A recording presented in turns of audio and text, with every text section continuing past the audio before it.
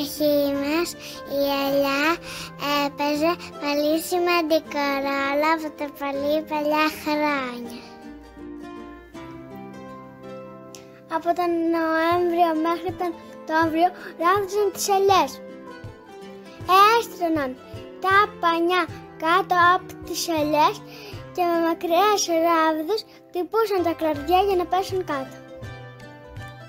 Συνέχεια τις έβαλαν σε κοφίνια ή σε σακιά με τα ζώα και τις, και τις μπάνανε μέσα στο ελοτρομείο. Κάποιες από αυτές τις πηγαίνανε στο παλάτι του Νέστορα. Εκεί τις, πη, τις, με, τις αποθήκευαν σε πιθάρια. Στα πιθάρια αποθήκευαν στο λάδι σε σκοτεινό και δροσερό μέρος. Εκεί υπήρχε ένα αρωματοπολείο, ένα εργαστήριο αρωμάτων και αλήφων με βάση το ελαιόλαδο. Δωμάτια 7 και 8 του ανακτόρου υπήρχαν αρωματικές ουσίες όπως τριαντάφυλλο και φασκόμηλο για να αρωματίσουν το λάδι. Κάποια λάδια προορίζονταν από λατρευτικούς σκοπούς. Βρέθηκαν στο δωμάτιο 32 του ανακτόρου.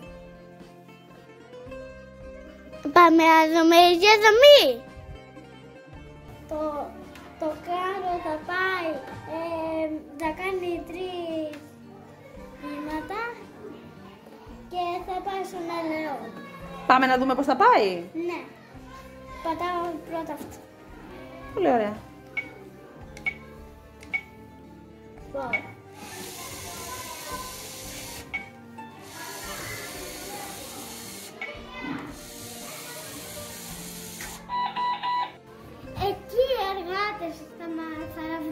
Ραβδίσουν τις ελιές και θα τις βάλουν στα σακιά.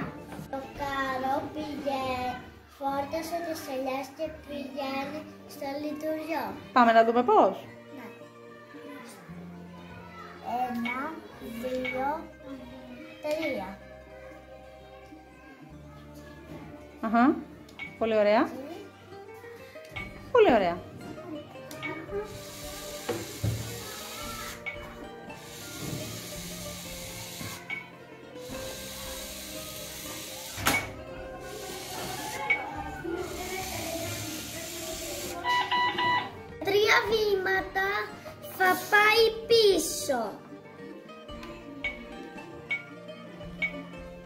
Go. Θα πάει πίσω.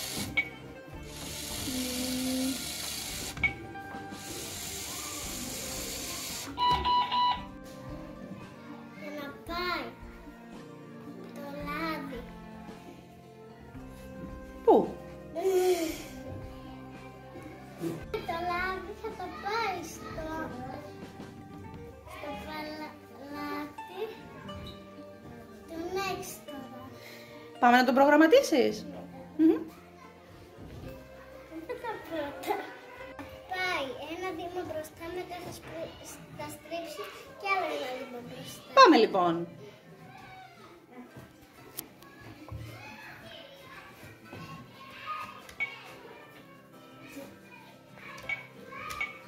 Go.